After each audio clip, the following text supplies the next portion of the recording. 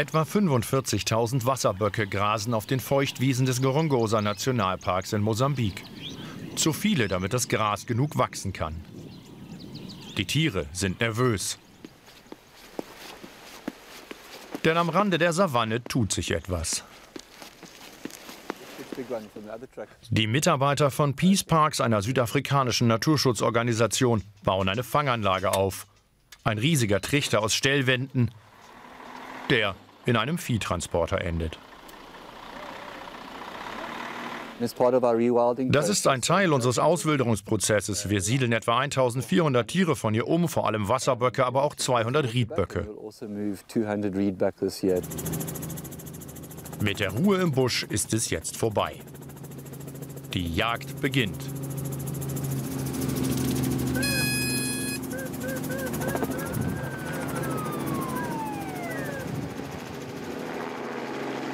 Immer wieder treibt der Helikopter Gruppen von Antilopen in Richtung Fangtrichter.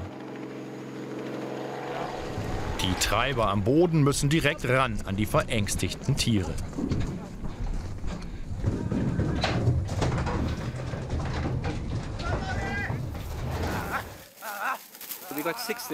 Es sind jetzt sechs dort, das ist okay. Ich glaube, wir sind bei insgesamt 30. Damit haben wir schon zwei Drittel. Es sind schon 50, 60 im Laster. Der andere LKW ist auch gerade gekommen. Es geht also voran. Und auch die Unwilligsten werden mit sanfter Gewalt auf die Reise in ein neues Leben geschickt. An diesem besonderen Tag ist auch Werner Mayberg mit dabei. Er ist Chef von Peace Parks und hat die Umsiedlungsaktion jahrelang mit vorbereitet.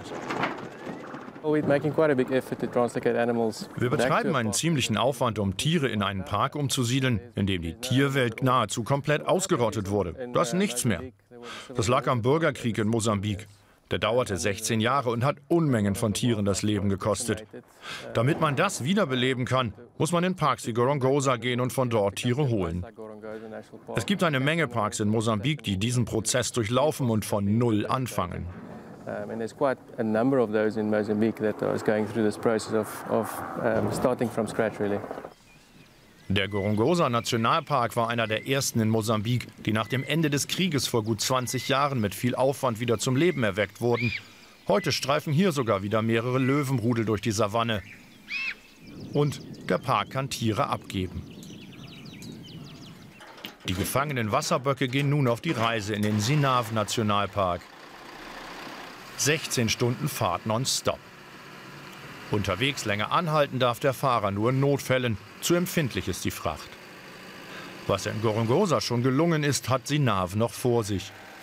Die Rückkehr der afrikanischen Wildtiere. Und dieser Transport ist sein erster Schritt. In Sinav treffen sich derweil das Peace Parks Team und Vertreter der mosambikanischen Behörden. Es geht unter anderem um die fehlende Infrastruktur im Park. Sie wollen den Zugang zum Schutzgebiet erleichtern.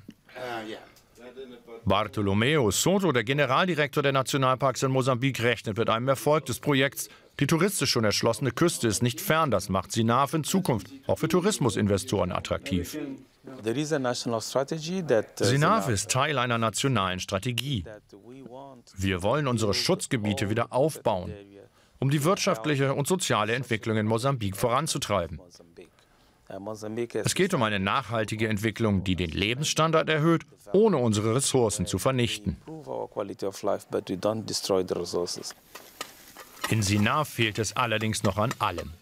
2,5 Millionen Dollar kostet allein die Umsiedlungsaktion der Tiere. Zudem werden gerade Häuser für Ranger gebaut. Peace Parks finanziert vieles davon, sucht aber Geldgeber, auch um die neuen Tiere vor Wilderei zu schützen. Denn im Park und an seinen Grenzen leben Menschen. Es sind zumeist arme Bauern oder Fischer. Neue Ackerflächen werden oft mit Feuer gerodet. Damit auch das weniger wird, soll der wiederbelebte Park langfristig den Anrainern Arbeit und Einkommen bringen. Noch aber leben in Sinav alle Tiere hinter hohen Elektrozäunen in einem rund 18.000 Hektar großen Schutzgebiet.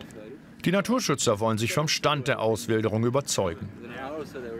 Denn aus diesem Areal soll der Tierreichtum in Sinav später kommen. Wenn alles gut geht, dann werden sich in ein paar Jahren die Tore öffnen. Vorher bekommen die Giraffen aber noch viel Gesellschaft, die die Natur wieder ins Gleichgewicht bringen soll. Unser Schwerpunkt ist es, Tiere der Savanne hier reinzubringen, wie Zebras, Gnus und Büffel. Die fressen vor allem das lange Gras und verändern so das Ökosystem. Elefanten werden später das Gleiche tun. Wir haben ja eine Menge dichten Busch, den öffnen sie wieder. Danach, so in vier oder fünf Jahren, können wir Fleischfresser reinbringen, also Löwen, Hyänen und Leoparden. Der LKW mit den Antilopen ist am nächsten Morgen endlich am Ziel. Trotz der langen Fahrt sind die Tiere wohl auf. Jetzt geht alles sehr schnell. Und doch ist es nur ein kleiner weiterer Schritt bis zum neuen Naturparadies. Um eine Fläche dieser Größe wiederzubeleben, braucht man Zeit. Der Krügerpark ist 110 Jahre alt. Dieses Gebiet ist ein Viertel so groß wie der Krügerpark und es sind kaum Tiere hier, um die Wildnis zurückzubringen. Es wird 15 bis 20 Jahre dauern, nur um den Bestand an Tieren wiederherzustellen, den es hier früher einmal gab.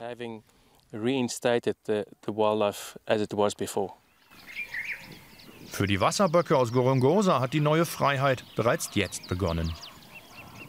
In den nächsten Jahren werden ihnen rund 7500 Tiere aus anderen afrikanischen Parks folgen und das Leben langsam nach Sinav zurückbringen.